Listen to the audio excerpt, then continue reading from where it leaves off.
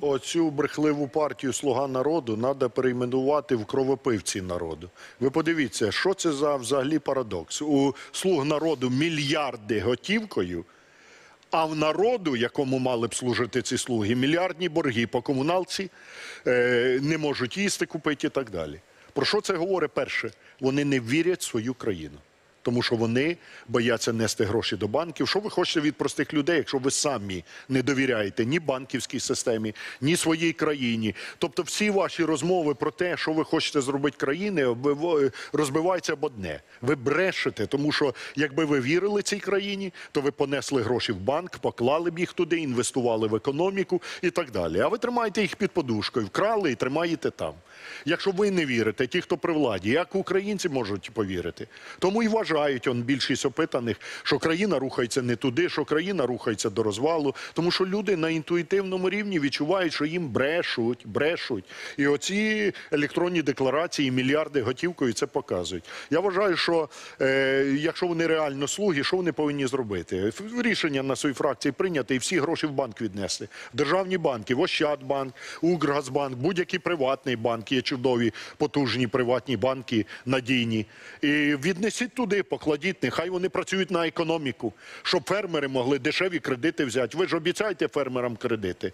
Так от, коли оці мільярди готівкою, оці брехливі слуги віднесуть у банк, українські фермери зможуть отримати під 3% кредити на 5-10 років. І не землю продавати, а врожай вирощувати, переробляти, обладнання купити, у селі корову повернути, е, е, переробку поставити і так далі, так далі, так далі. А поки триматимуть гроші і крастимуть, нічого в цій країні не буде. Тому брехуни, які повинні йти на перевибори.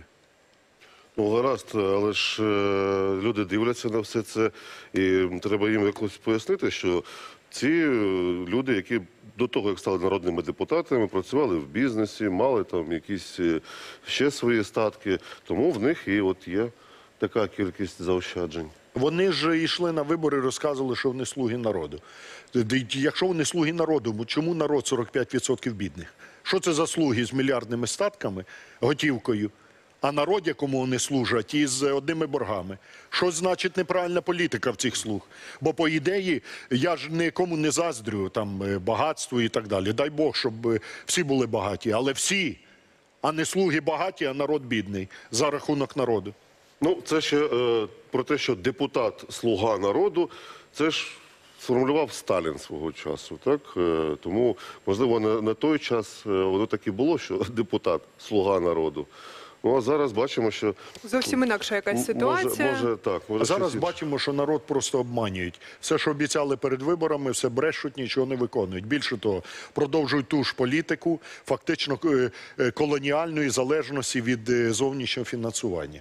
Без зміни економічної політики ми ніколи не зліземо з голки кредитів, і тоді одні багатітимуть. Тому що чим закінчаться всі ці нові кредити? От хваляться геройство, геройство, хоч медаль вішає собі на груди, взяли 5 мільярдів доларів. Е, По-перше, розкрадуть, роз'їдять, розтринькають. Потім ми все це будемо далі вертати. Вже нова влада, коли ми прийдемо до влади. Тому треба міняти цю економічну політику. А те, що нав'язує міжнародний валютний фонд, інші кредитори, це фактично колоніальна залежність. Ви ж подивіться умови: прийняття закону про розпродаж землі, фактично демонтаж української держави, розпродаж України і добити остаточно село. Е, Робоча дешева сила забороняють піднімати зарплати українцям. Чому? Тому що щоб люди мали копійчані зарплати в Україні. Потім вони їдуть у Польщу, де медсестра отримує 2 тисячі євро зарплати, а в Україні лікар, який 8 років учиться, отримує 5 тисяч гривень зарплати. Хто ж тут залишиться? Я це так подумав, пане Олеже, що якби, якби таке щось Азаров з Януковичем зробили, то вже палало б там десь, так, в середмісті Києва. Та я думаю, що на А зараз, зараз сидять десь там в Ростові Янукович, а десь в Москві там Азаров і кажуть, о, а що так можна було? Е, я думаю, що у нас попереду важка осінь.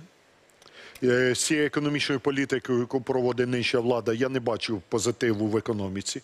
Буде зростання рівня безробіття, зростання рівня бідності, заощадження у людей майже з'їдені, нічого немає. Може, щось іще трошки залишилось на чорний день, вони тримають, але коли А немає ви думаєте, щось буде?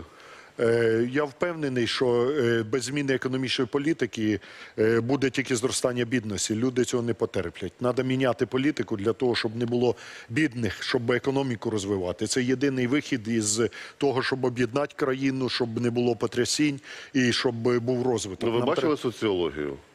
Ну, не, не, не так вже і глобально там падають, е, падають рейтинги. І «Слуги народу, і безпосередньо голови держави. Дивіться, я не дивлюся на рейтинги політиків. Вони мене менше всього цікавлять. Я дивлюся на те, що думають люди, які у них ключові пріоритети. 50 з гаком відсотків людей вважають, що країна розвалюється. Я оптиміст, але важко понад 30% підтримують партію Е, «Слуга народу». Надзвичайно більшість людей вважає, що країна рухається не в тому напрямку. Люди не підтримують слугу народу. Люди підтримують себе. Вони просто не хочуть визнати, що вони зробили помилку, і вони не хочуть розчаруватися. Це кредит довіри. Бо вони, коли за них голосували, і сьогодні вони не хочуть просто визнати, що це є велике розчарування. На превеликий жаль, рівень бідності, е, провал економіки, абсолютно неправильна економічна політика, нові боргові запозичення, вони приведуть до ще більшої бідності. Тому ми пропонуємо, наша команда радикальної партії, інший план. Не запозичення брати, а відновлювати виробництво, нові робочі місця і долати бідність, а не брехати людям.